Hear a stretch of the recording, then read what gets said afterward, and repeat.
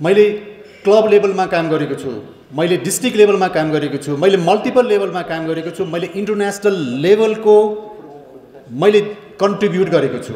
यो कुराहरू यहाँहरू समक्ष प्रस्तुत भएको बुकलेटमा पनि बुकलेटमा पनि रहेको छ।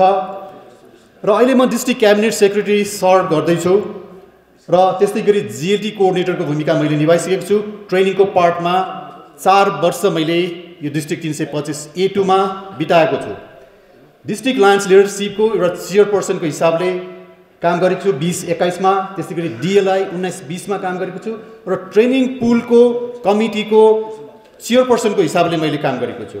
र त्यस्तै गरी चिफ एरिया कोअर्डिनेटर त्यस्तै गरी चिफ लायन्स विक दुई वर्ष मैले काम गरेको छु। एउटा भक्तपुरमा भएको थियो लायन्स यो विशाल त्यो प्रोग्राम इभेन्ट भएको थियो हाम्रो अवालजीको पालामा र त्यस्तै गरी area coordinator additional cabinet treasurer region चेयरपर्सनको भूमिका मैले निभाइसकेको छु र जोन चेयरपर्सनको भूमिका मैले प्रिसिडेन्ट हुँदाखेरि नै म दुई हजार बाह्र तेह्रदेखि प्रिसिडेन्ट र जोन चेयरपर्सन एकैपल्ट थिएँ।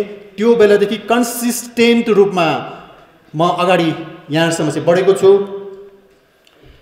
र त्यस्तै गरी किपु क्लबको भूमिका निभाउँदै गर्दाखेरि दुई हजार पन्ध्रमा म एज अ चार्टर प्रेसिडेन्टको रूपमा मैले सर्भ गर्ने मौका पाएको छु र त्यस्तै गरी क्लबका विभिन्न अन्य भूमिकाहरू मैले निभाइसकेको छु।